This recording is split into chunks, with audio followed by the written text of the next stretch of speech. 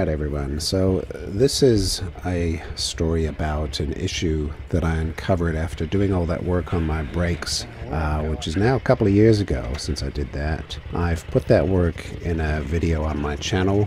In this video here, I'm covering how I discovered this new problem, all the dramas I went through to resolve it.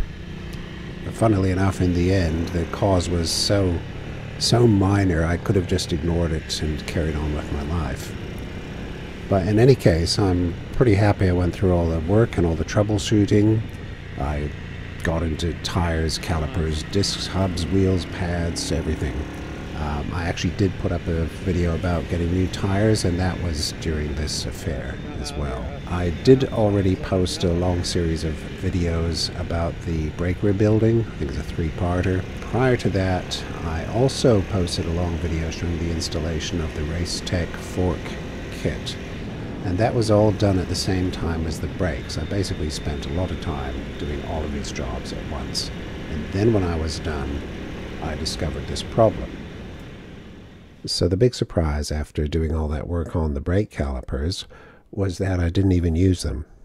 I ended up finding and purchasing a perfect set of NOS Brembo P08s with the exact pads that I wanted, and they were quite cheap. And I thought about it for quite a while. Think, is this silly? And I just went with it because that's what my bike looks like. It looks NOS. It doesn't look like a bunch of polished up old parts. It looks like it's a new bike. And I can, of course, sell the um, other calipers to someone who's doing up a bike and just wants something that's not necessarily, you know, brand new, but is fully reconditioned and looks great. As part of rebuilding the brakes, I purchased new bleed nipples. And in the video, I couldn't get them to fit very well. It was weird that when I'd screw them in to the caliper body, the hex nut part of them would just about rest on the body of the caliper when they were tightened down. And that was just weird. I couldn't quite figure out what was going on there. Eventually, I figured out that the nipples that were on the bike before had been modified. They'd had a little bit of material taken off of that hex part to thin it out a little bit and provide a little bit more clear space between that and the body of the caliper in addition to that, with the new calipers, I was finding it difficult to seal the brake hose banjos against the anodized finish of the calipers. And it just didn't seem right to me because the anodizing, of course, has a little bit of texture to it. And here I was trying to fasten with a copper washer, sort of a banjo on the end of a brake hose, to that body, trying to seal it up against the caliper body. It was just too weird. And so I started looking at manuals and parts lists and photos, which I have thousands of. And eventually I realized that the front hose arrangement on my bike was not standard. I thought it was because it looked so good. Like I, I knew the earlier bikes had the um, I guess it's a copper tubing or some sort of a tin tubing, you know, those those brake tubes. I knew they had that on the earlier bikes, but I just assumed that with my bike they changed it and, and put the uh, hoses straight onto the calipers. In any case, I sort of realized that the previous owner had taken them off and set it up like this. That's why the nipples didn't work, didn't fit right.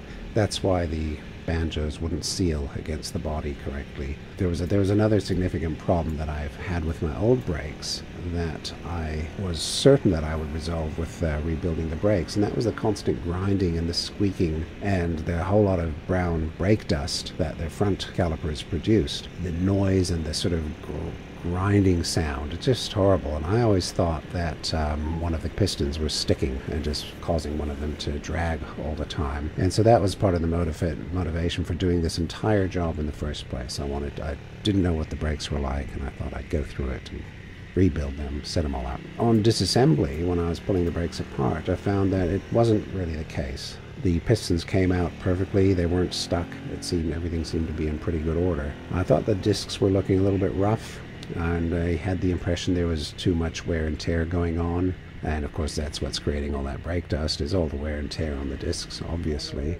Um, so when time came to research and choose some new brake pads for my rebuilt brakes, I figured out that the pads were sintered pads and not for use on cast iron discs. Not at all for use because they do exactly what was happening. They chew up the discs really badly. Um, so this was just another failing by the previous owner who either rebuilt the brakes or oversaw the rebuilding the brakes or I don't know who did it, but um, in any case, wrong pads. Sintered pads are for steel discs, and they need that extra bite to get similar performance as, as cast iron discs. And so the pads that I decided to get, to get in the end were the Brembo Road Carbon Ceramic 08 uh, the product code 07BB14.08, same one front and rear. There's this chart at Brembo. It shows the relative friction of the pads, but note that the colors don't match the colors of the pads themselves, the backing plates. So blue on the chart is red on the plate. So the, the sintered pad is the red one, and that's actually the blue line on the chart, and so on. Swapping the pads instantly fixed the squealing and the grinding and I don't get that kind of brake dust and anything like that. Now the brakes are like new and they work really well. So, lesson learned if you've bought a bike rebuilt by someone else, you just cannot trust that it's been put together properly. In any case, funnily enough, I actually recently rebuilt my old mountain bike, and that always had exactly the same issue with all the grinding and squealing on the front brakes. And I thought, well, maybe that's got the same problem, even though I bought that bike in a box from the factory and I assembled it myself. So those are factory pads. But I researched the pads, and it's exactly the same thing. I sourced some original plane pads, and now the bicycle works perfectly and doesn't grate and squeal and everything. When I was doing the brakes, I also decided to pull off the discs and clean up the disc carriers and give them a little bit of a refinishing because they were pretty rough looking. There was rust from the cast iron of the discs because water gets in. If you've ever washed your bike, you ride in the rain, the water gets in behind the disc. And so I uh, Thought I'll pull it apart, clean it all out, give it a light spray again, make it all look real nice. I, in order to return the discs to the same hubs, to the same position on the hubs, and the hubs, so the carriers, and the carriers back onto the wheels in the same position, I used some colored zip ties for the discs, and I used um, marks, made little pock marks in the surface of the hub where you couldn't see it. So what I was doing was doing all that so I could get everything back to where it was back to the position it was in because I made an assumption that everything was where it was supposed to be. And my experience with this bike is that's just simply not the case. I put it back together how it was. I assumed that that was going to be right, and that was the best I could do anyway. And so I finally got on the road for a bit of a longer ride to bed the new brake pads in, and the pads were great right out of the box. They just felt really good, much nicer to use than the previous brakes. A little bit softer on the on the lever, um, completely silent, and I do expect them to tighten up a little bit as they wear into the discs. So during that ride, near the end of the ride, there's a long downhill slope on the motorway with an 80k speed limit, and so I was just uh, coasting down there feathering the uh, front brake lever just very lightly because I'd noticed this sort of a fluttering feeling. I couldn't feel it in the lever, but I could feel it in the bike. On the way down, I kept trying to look around the bike to see what was happening. It was clear to me that was something around the front wheel, something to do with the brakes, obviously. And it was also clear that the um, the frequency of this fluttering matched the RPM of the wheel. Each single turn of the wheel would give you one beat in that fluttering. And so it had to be something to do with the brakes or the tires. Or as I was riding down, I even thought about the fork kit. I was thinking that maybe there's something is setting up a resonance. These are the kind of things I was trying to think about as I was going down the hill. And uh, in particular, there was no movement in the lever itself. Old discs like this, if you look at the surface of the disc, sometimes you'll see a section where there might be pitting or corrosion and this often happens with an old bike with cast iron on brake discs is if the bike was wet or if there was uh, you know fluid coming through the pistons so there's a bit of a leak going on and if the bike sat for a number of years in one spot um, you can get where that pad is touching the disc you'll get corrosion on that spot. And so if you look around your disc very often you'll see an area where it's like that because of course you're having an uneven surface you know it's smooth and then it's a little bit less smooth and then it's smooth all the way around again. However, they didn't do this before the brake rebuild, and so so I sort of discounted that. I considered whether the new pads were making any difference. I knew the pads I chose were the most suitable and the least likely to cause this kind of problem. I did know they needed to bed in. That was clear. I got home, I set up the bike, I checked the alignment of the calipers to the discs. Um, this is, you know, getting the disc right in the middle of the calipers so that the uh, pads on either side are in the same position relative to the caliper. Now you've got a bit of play in there. It can go a couple of millimeters one way or the other, and the caliper, you know, being a dual dual piston thing, makes up for that. Uh, but still, it was a bit tight on one side, and so I used spacers to um, set that up again. Took it on a quick ride after that, and the problem was exactly the same. My next job back in the workshop was to check the discs on the bike for run out, and also measure the thickness. Um, the run out was a bit fiddly to measure. Uh, I ended up clamping using a sort of vice grips to clamp a dial indicator to the to the wheel nut, and then I could spin the tire. I lifted up the front of the bike with my hoist, and I spun the wheel and uh, tried to find a position on the disc where I could try and observe run out. It wasn't that great. Well, it wasn't a great way to measure it, but um, I couldn't see anything terribly wrong. And in order to check the thickness, I just used a micrometer and went around with the, with again with the wheel mounted. Just tried to go around and measure different areas. If your discs are worn unevenly, with some sections thinner than other sections, then you can possibly detect that in the lever when you brake, because the lever will move in and out as the brake pads move together and further apart as they go around the thick and thin section of, of the disc. But if the disc is, is warped and produces runout from warping, it doesn't do that. Um, regarding the wear, the parallelism of the discs. The left disc was 6.2 to 6.25 millimeters, uh, so that's 5 one hundredths of a millimeter, so nothing terrible there. And so runout has to be kept low.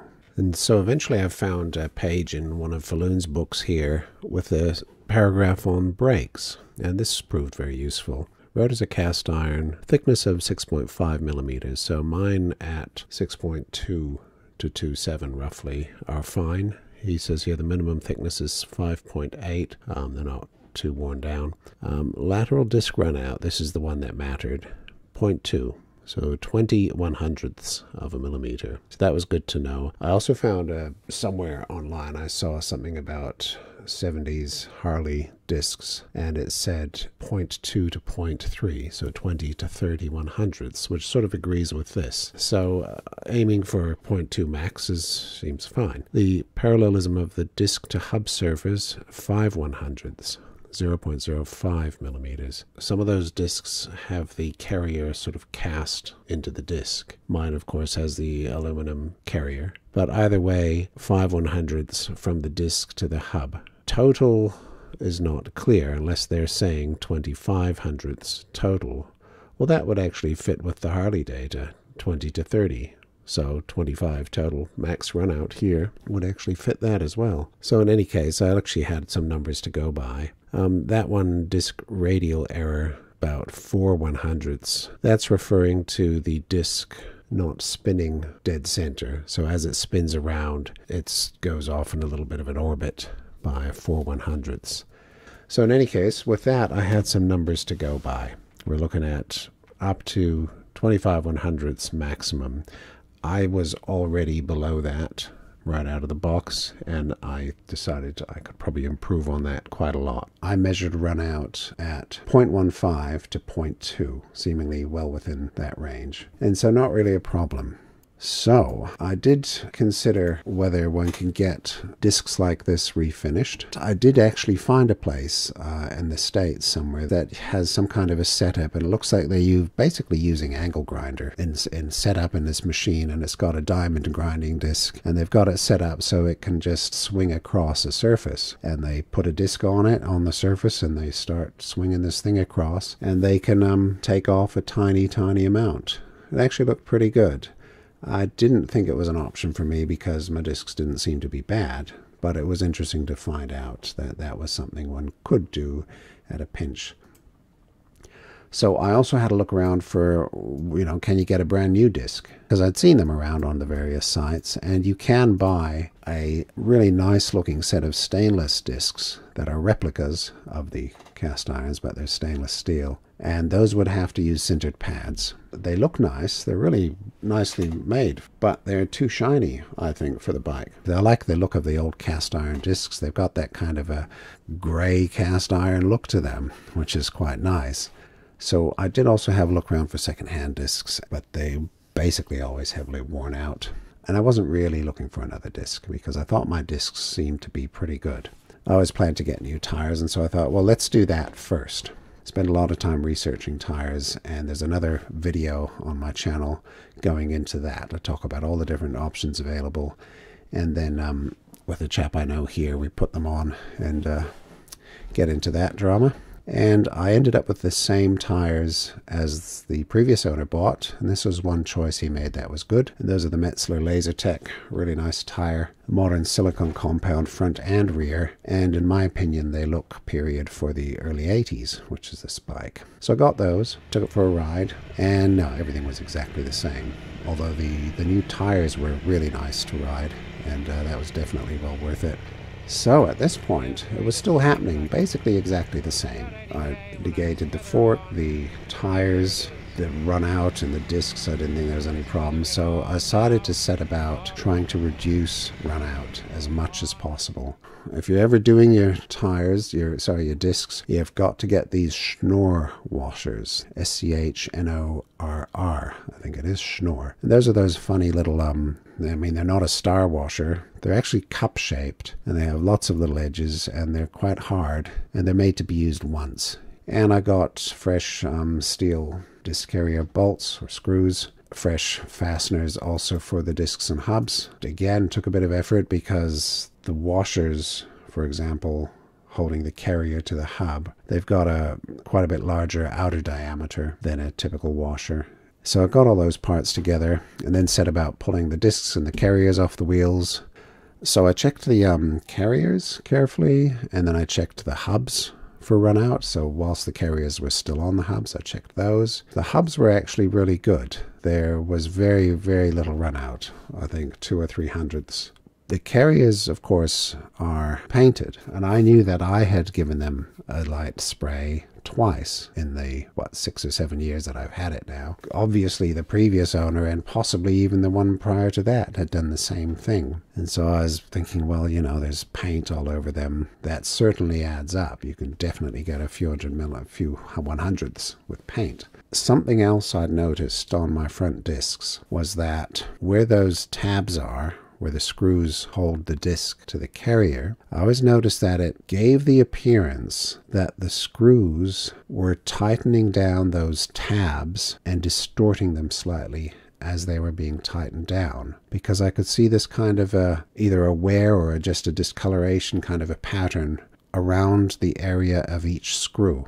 If you imagine that the disc was not made of um, cast iron but was made of something a little bit flexible, and that screwing the screwing it up super tight onto the carrier would distort the material a bit. It was like that. And so I was considering how that would even happen. And I decided that through repeated resprays of the carriers, it's not just the fact you're respraying it, but it's the fact that we you're spraying into a corner. See, the, the carrier has the flat surface that the disc attaches to, but it's also got the corner, and that sticks up at least six or seven millimeters or more. And so when you're spraying with a bottle spray or whatever, and you're spraying into a corner, into a 90 degree corner, anyone who's done this, you know that it's impossible to get the spray into the corner. If this had been done multiple times, I think you could easily add two or three or four hundredths to the outer edge and far less to the inner edge. So what I'm getting at is that the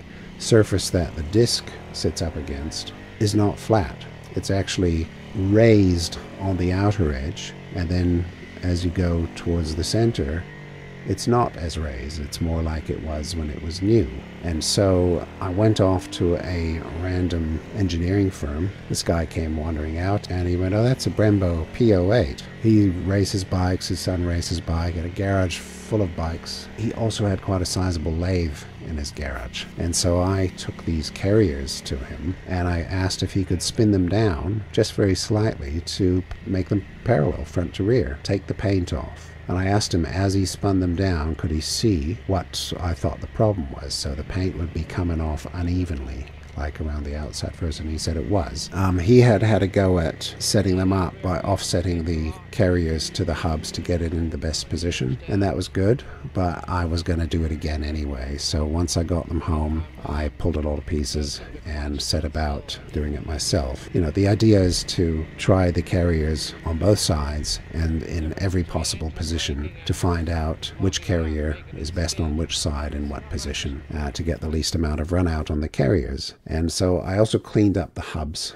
as you can see here. But I took off as much of the um, sealant, Loctite, all kinds of crap. So I used a blade just to scrape that without taking off any metal. And then set about lining up these carriers. And that took a long time. And the outcome of that was on one side, the run out of the hub itself gave me three one hundredths on one side, left, and four one hundredths on the other side.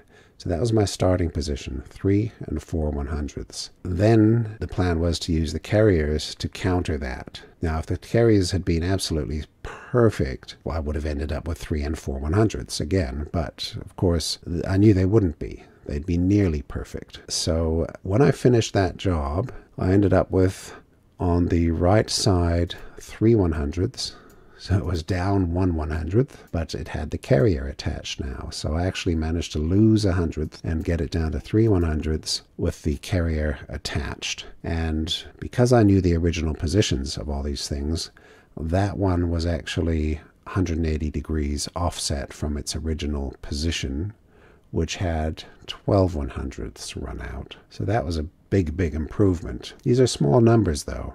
Once this was all fastened with all the new fasteners, it, it reduced even more to 1 100th. So my carrier was 1 100th on the right side.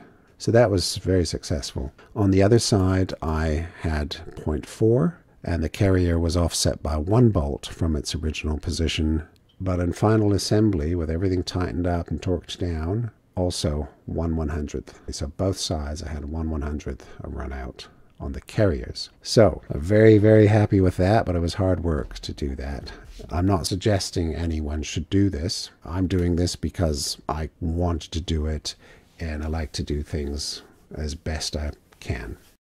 I should point out that these discs were cleaned and then placed in evaporust, which I've done twice. I did it um, way back and then I did it again this time and I like the Evaporust, it's really nice. The finish you get is that nice gray cast iron look. It almost looks like a new disc. You do have to scrub it as it comes out of the Evaporust. You scrub it and it removes this kind of a gray stuff.